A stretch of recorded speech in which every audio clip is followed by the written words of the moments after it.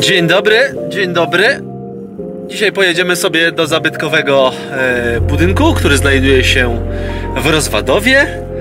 Mówię tutaj o dawnym budynku sądu, w którym dzisiaj mieści się Galeria Malarstwa Alfonsa Karpińskiego. Spróbujemy sobie tam polatać. Zobaczymy, co tam jest w środku. Sam tam nigdy nie byłem, tak, przyznaję się. Nie byłem tam nigdy. Będzie dzisiaj okazja. Zobaczymy sobie to wszystko z troszeczkę innej perspektywy. Zapraszam na dzisiejszy film z galerii malarstwa Alfonsa Karpińskiego. Hej!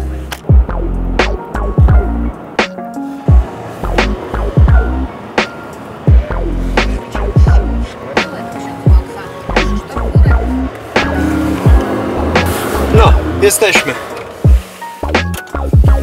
No to teraz piechotka, idziemy.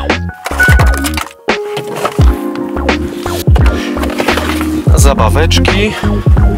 Jedna i druga.